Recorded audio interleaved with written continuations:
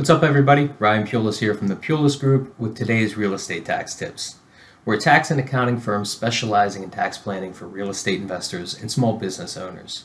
Today we're going to discuss partial asset disposition rules and how to use them to reduce your tax burden.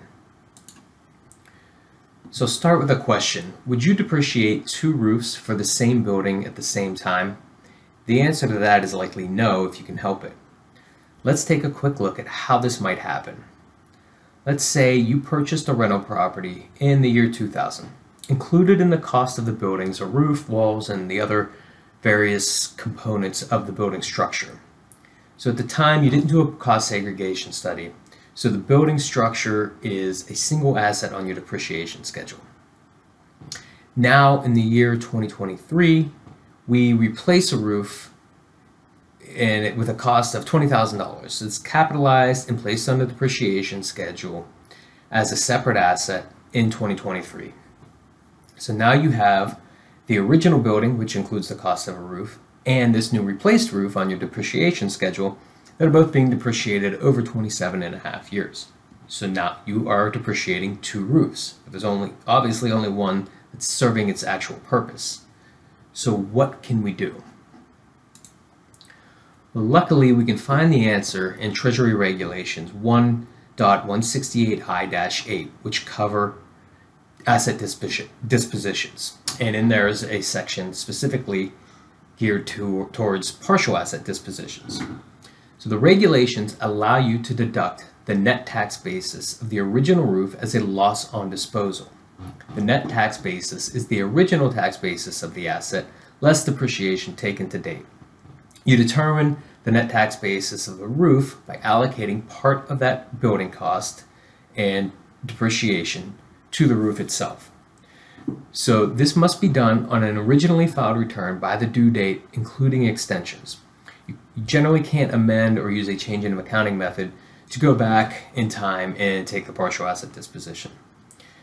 If you use a partial asset disposition, you may also deduct the removal cost, like transport and dump fees for the pieces of the asset being removed. Otherwise, these costs are generally required to be capitalized and depreciated. So now let's discuss how you calculate the amount of loss for partial asset disposition.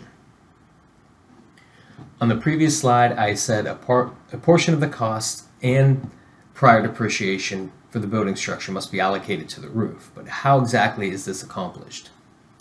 First, if you can identify the actual cost, you must use that amount. So for example, a contractor that built the building tracked the actual cost from the original build and you have this information. In that case, you're required to use the actual cost. Otherwise, the IRS gives us three reasonable methods which they determine are can be used to come up with some sort of allocation. So one is a the producer price index, PPI. This allows you to discount the cost of the replacement portion of the asset to its placed in service year cost using the PPI. To use this, you really need to know what you're doing or you can easily end up with an inflated, inflated asset cost. I don't recommend this method for anyone that's not intimately familiar with construction costs because there's a lot of room for error. Second, the second option is a pro rata replacement cost. This allows you to take the replacement cost of the improvement divided by the replacement cost of the entire asset and calculate a ratio to use on the existing net tax basis of the asset to determine the partial disposition amount. So let's say it costs $10,000 to replace the roof and we're able to determine it's $100,000 to replace the entire building structure. Gives us a ratio of 10%, which can be used on the existing net tax basis for disposal. So generally, to, to determine the replacement cost of the asset, you'll need to hire an appraiser.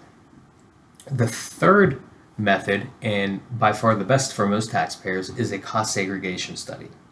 So a cost seg study is an engineering-based study designed to reallocate the cost of the property among its various components. So a cost seg study will allocate a specific cost to the roof, roof and other building components so they can be easily identified. Let's take a quick look at an example here. So in this example, Let's say you own a $100,000 residential rental property, excluding the cost of land to keep things simple. The original roof represents $8,000 of that purchase price. So after 10 years, the roof's replaced. The building structure itself has total depreciation taken to date of 36,364, of which 2,909 is for that $8,000 roof. Following the partial asset disposition rules, this taxpayer can deduct a $5,091 loss on partial asset disposition for the original roof. And that's calculated by taking the $8,000 original cost minus the $2,909 depreciation taken to date, which gives us a $5,091 net tax basis in the roof, the old roof. And the new roof is capitalized and depreciated as usual. If you own commercial real estate, this can get even better because we can use the Section 179 rules to combine a loss from partial asset disposition with the immediate write-off of the replacement property by using Section 179 depreciation. In this case, we're, we're specifically dealing with qualified real property, QRP for short. So QRP represents improvements made to non-residential real property. This includes roofs, HVACs, fire security and alarm systems, and security systems. Qualified real property, QRPs, eligible for Section 179 depreciation. So as a reminder, Section 179 allows you to immediately deduct up to $1,080,000 in depreciation in year one. Those are the 2022 limits.